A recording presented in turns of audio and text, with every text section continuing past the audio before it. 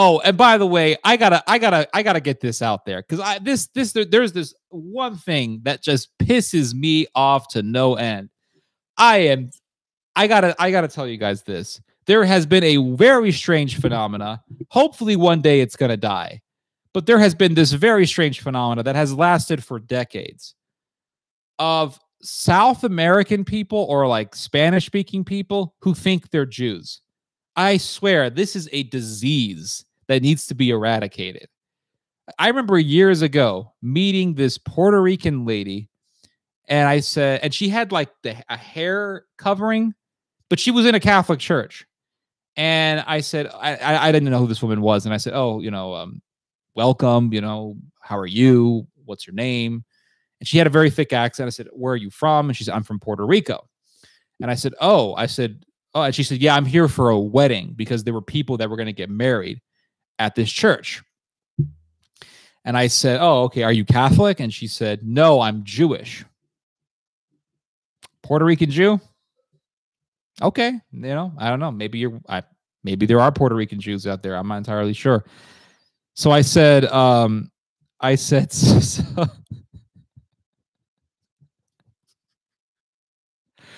said, so, oh, were you born Jewish? Are you like a part of an Israeli family or something?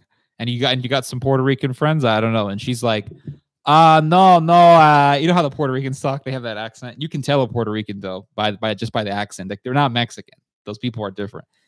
She's like, no, no, um, uh, like uh, I gotta, I, I found out my roots. I found out my roots. It's in my roots, in my blood. It's in my blood. I said, oh, you're in your blood. Oh, I see. So basically, your last name's Garcia. You Googled Garcia in, in, on the internet and you found out that, you know, 800 years ago, there was some family in Spain with the Garcia name and they were conversos. They were Jews who became Catholic. And you found this out. And now all of a sudden you're a Jew and you're singing the Havla Hava and you got the Israeli flag in your hand and you got a menorah and you got a Star of David on your house and you got a whatever and you got you're playing dreidel every Friday night or something like that.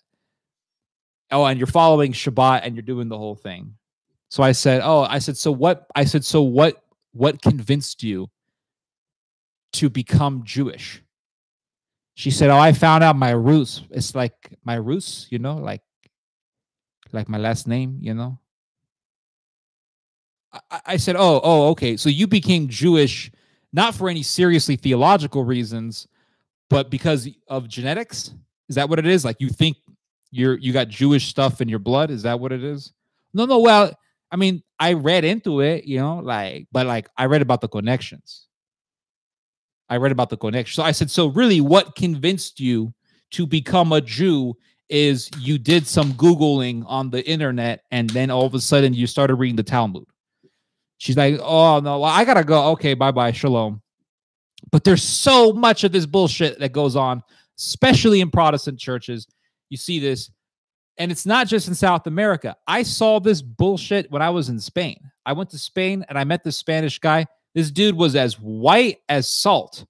White, he looked 100% European, but he was crazy though. He was actually on psych meds. And I'm like, they're taking psych meds up here in Spain too?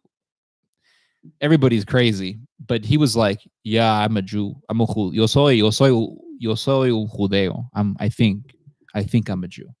Oh, how do you know? And this guy's last name was Valero, by the, by the way. So the next time you see the Valero gas station, think of this guy.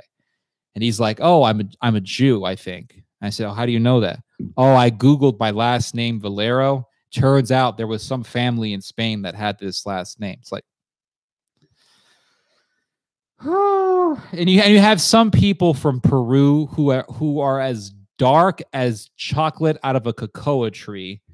And they're like, I am a Jew. And I'm like, you look like a, an actor from Apocalypto or from Dances with Wolves. What the hell is, are you talking about? I am a Jew. How do you know you're a Jew? I knew this one guy. His last name was Salvador, and he was he was from he was from he was from El Salvador. Believe it or not, his wife was from Peru, and they became Jews all of a sudden, I'm not even joking. They were born Catholic, then they got into Protestantism. Then all of a sudden, they started thinking they were Jews. They converted to Judaism, or they think they converted to Judaism. because the Jews, the real like real Jews, would never even accept these people. They'd laugh them off the synagogue. They'd laugh them out of the synagogue. They really would. They wouldn't. They wouldn't want anything to do with these people because they're an embarrassment. I wouldn't want anything to do with these people. I don't want anything to do with these people. I'm not even Jewish. But all of a sudden, like he was, you know, he was Catholic, and then all of a sudden he became Protestant, and he was a very cocky guy too. He, I think he ran a tile installing company or something. He's like, I do the best work, you know. You know how Latin American dudes are. I do the best work, you know. I do fine work, you know. The tile, perfect, perfect tile, you know. The whole thing perfect. All of a sudden, this dude's walking around with a yarmulke on the back of his head. He's got the tallits, the white robes. He's walking out of there like he's a member of the Sanhedrin. And I'm sitting here like, one ticket to Israel, please? Like, what the hell? You want to get shot in Brooklyn or something? Like, what are you doing? Oh, I made a 360 degree turn. No, I made a 100 and I made a 360 degree turn. I have I moved my life around so much. You got no idea. You got no idea, man. You got no idea, man. You know the Trinity? That's all fake by the Catholic. The Catholic Church made it up, man. It made it up. That's all that's all nonsense, man. That's trash, man. No all that Catholic stuff. It's just idolatry, man. They're worshiping idols. Like when they're praying to Mary, they're worshiping that goddess Ishtar. But like I made a 180 degree turn, and this dude is walking around like a kid who wants to be Gandalf in the Lord of the Rings, and he's dressed up like a wizard.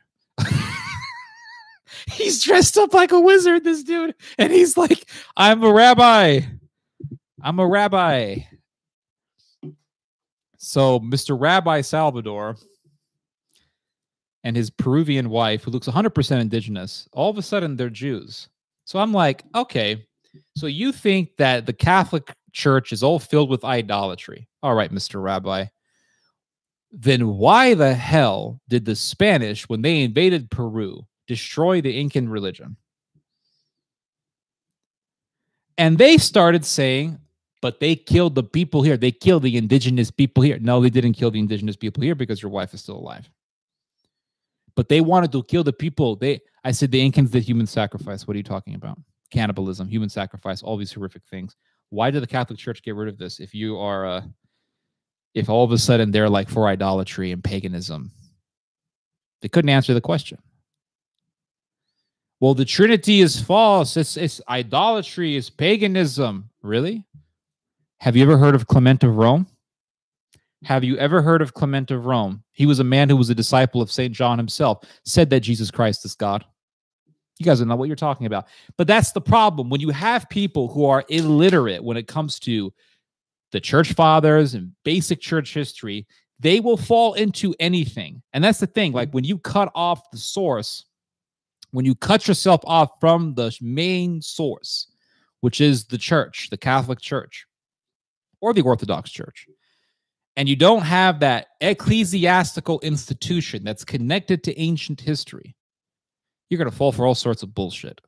It's like what Tertullian says. Tertullian said that the true church is like a beautiful olive tree. The olive is smooth and shiny, it's edible. And the heretical churches, they're a wild olive tree where the olives are fuzzy and inedible. But yes, that was my conversation with the wizard. But there's so much of this BS that goes on. I remember years ago, I met this lady. I think she was from Texas or California or something. She was this Mexican American woman, and she was like, Yeah, I'm a Jew. I think I had like relatives who were killed in the Inquisition. It's like everybody wants to be a Jew. Everybody's like, why don't you be content with who you are? If you're born Jewish, okay, you're born Jewish. But if you ain't a Jew, if you're Mexican, Puerto Rican, French, Spanish, whatever, just be content with who you are. Like, who cares? It's insanity to me. It's complete insanity.